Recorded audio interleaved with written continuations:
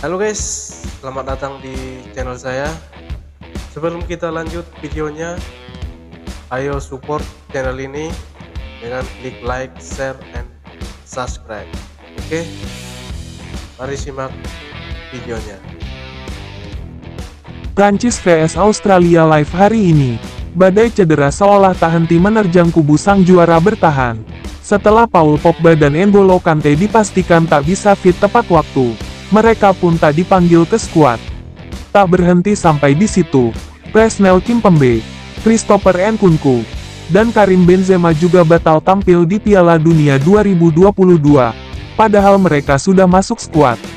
Striker Real Madrid pemenang Ballon d'Or itu 2022 Karim Benzema, dipastikan harus absen dan dicoret dari skuad.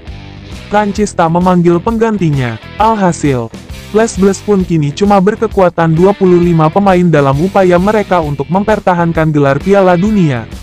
Namun, Prancis masih diunggulkan, sebab, mereka memiliki kedalaman skuad yang luar biasa.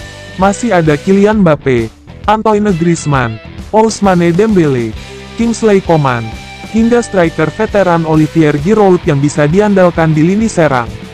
Timnas Prancis akan menghadapi Timnas Australia di Al Janoub Stadium pada matchday 1 grup D Piala Dunia 2022.